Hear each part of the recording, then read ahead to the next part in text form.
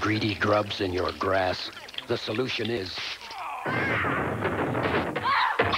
Dead. Simple.